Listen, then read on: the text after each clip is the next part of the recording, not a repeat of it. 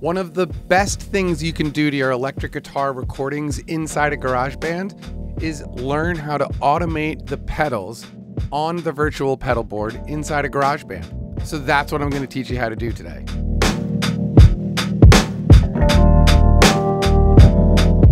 So today we're going to be taking a look at a song of mine that I put out on this past Monday called This Will Pass, which was an instrumental song. In the lead guitar track, for those of you who watched it, just so you know, that lead guitar track was basically one long guitar take, which you can see right here in this section of purple region. So these are the effects that I was using, uh, just a delay and this vintage drive right here. And these are the effects that I have turning on and off throughout the performance of the song. Doing things this way will make your life a lot easier because you don't have to separate channels. You can actually just sit there like a normal guitar player and play your guitar part from beginning to end. And in this particular case, that does include what I would call a soloing section. I am playing the melody, but it is, you know, a solo section where I do actually have this distortion turning on. The delay turns up a little bit more at the end things like that. It's really a simple thing to do. So let's turn off this pedal board and I'm going to open up the automation window by clicking right here and we're going to get my automation information.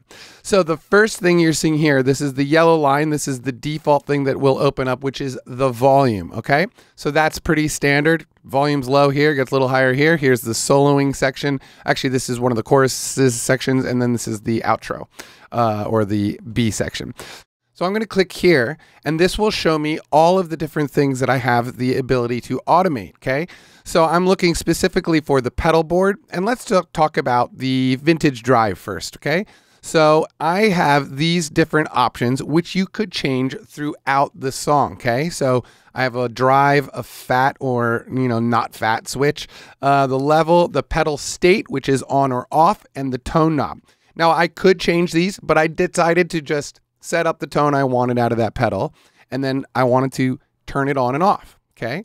So we come here and now we get this sort of aqua blue line. Okay. So what it is at the bottom is off. When it's up, it's on. Okay. Super easy. Let me just turn the uh, cycler off and you can hear what I'm talking about. I'm to solo this channel.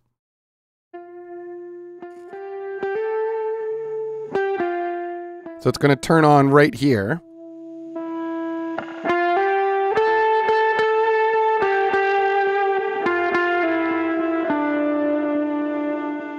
Okay. So that's pretty self-explanatory, right? Um, on and off, pretty simple. I will uh, put it at the end and I'll just show you on the pedal board that it actually does turn off as we approach that section. Um,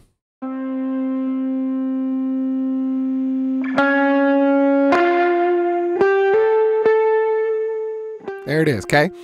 So basically, I can get more of a clean sound when it's off. It's still grinding just a tiny bit out of the, the amp sound, um, but nothing too crazy there. This is on and off, okay? So now let's look at a different effect, which is on that pedal board, which is the delay, okay? So in that delay, if we go back up to pedal board, oops, if we go back up to pedal board, and I look for the Tru-Tape Delay, you can see the two things that I actually did affect here. So the pedal state, and the ones that I affected are the ones that are highlighted here. As you can see, there are two. So mix and pedal state are both highlighted. So pedal state was on and off. So you can see that here. It's on here, off here, on there. Pretty self-explanatory. Um, as you could hear in this section, the delay sounds like this.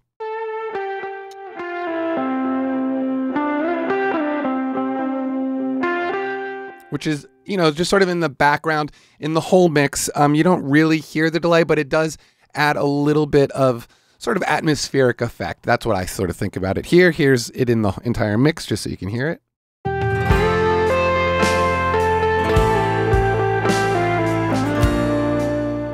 Okay, so that's what it sounds like there.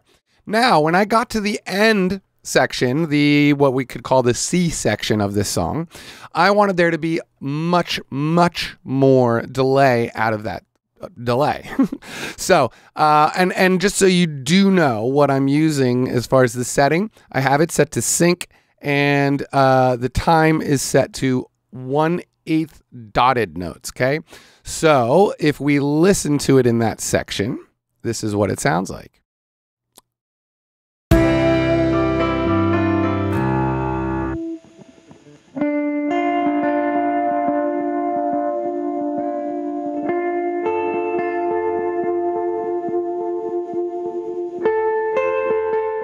Okay, so let me show you the automation on that. So if I come down here to, uh, let's see, where are we? Pedal state, pedal board. Actually, let's just go back up here and we will just go directly to it. Okay, so here's here you can see this is the mix knob automation in this particular track, okay? So here I have it set to 20% and here it is set to 45%. So it's just more in the mix, right? There's more of that delay sound in the mix.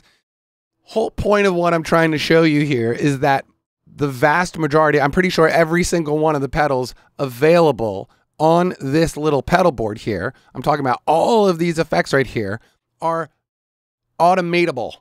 is that a, is that a word? Automable? I don't think that's the word, but you do have the ability to automate them. That's the wah pedal, that's the compressor, the reverbs, all of those kinds of things. The nice thing, like I said at the top, about using these options to automate is it makes it more like you are actually the guitar player playing this pedal board on the ground with your feet. It also makes your workflow a little bit more efficient. So like I said, you don't have to open up a different channel that has more delay and or or less delay or more reverb or less reverb. Those extra channels are going to eat up uh, you know, CPU space are going to eat up RAM, depending on how much power your computer has to run. If you're one of those people where GarageBand bogs down a lot, this is a great option for you. So you can keep your tracks as minimal as possible.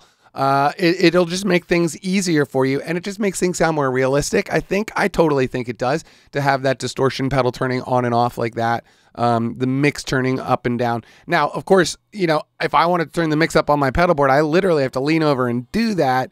But, uh, you know, so this might be a little bit more advanced than what you could really do in real life, but it does certainly make your workflow inside of GarageBand more simple and more efficient. And that's what I wanted to show you today.